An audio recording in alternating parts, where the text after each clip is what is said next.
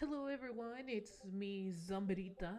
Um I before I start the video, I want to let you guys know that tomorrow Saturday uh, at 6 p.m. Eastern, I'm going to be giving out the full M1014 Scorpion uh, yeah, evolution gun uh, fully maxed out on Twitch. So go follow my Twitch. Um, it's literally a zombie ate my bra.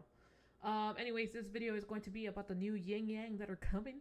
Um, this week, I believe we're already getting one of the emotes for the yin yang, but I have basically everything that is with the yin yang. I don't know what items are going to be free, but whatever. We're still just going to look at them. Okay, so first of all, which is basically the yin yang stuff or bundles. This is a more clear, beautiful view uh, than the one that I showed you guys literally like two weeks ago. The Mystic Aura bundle. I think this one is legit a 10 out of 10. Like, really, really good. All legendary. Well, yeah, kind of, sort of.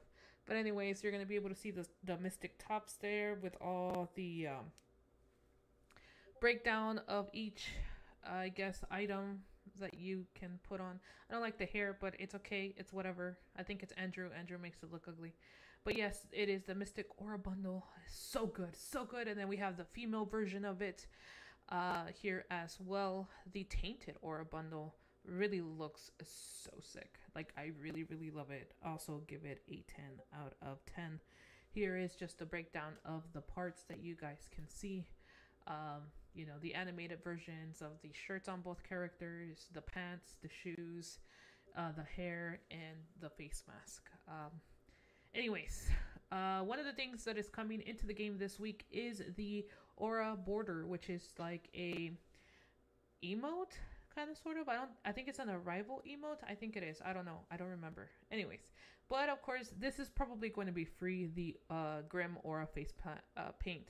There's probably going to be a huge uh, event for it. Um, this one's probably going to be free for like logging in or like, I don't know, doing some eliminations or something. But anyways, we got the AC80 Aura of Chaos, uh, armor penetration, damage, but uh, minus one movement speed. Uh, but actually, the gun skin looks pretty legit. Uh, this one is an M1873 Aura of Chaos. Movement speed, reload speed, minus one accuracy. I think it looks kind of like basic, but I guess it's okay. It's whatever, I guess. Then the one that looks even more basic is a Plasma Aura of Chaos. It has a plus range. Um, it has plus damage, minus one uh, real uh, movement speed. Sorry, it looks very basic. I hate it. Uh, then we have the melee here, or the dagger, Aura of Chaos. It has a, like a slight, slight, slight animation. It's not super uh, crazy, but it, I like it. What I really, really love though is this damn glue wall. That's for sure. I give this damn glue wall a 10 out of 10. Yes, sir. What I give a 20 out of 20 is this one.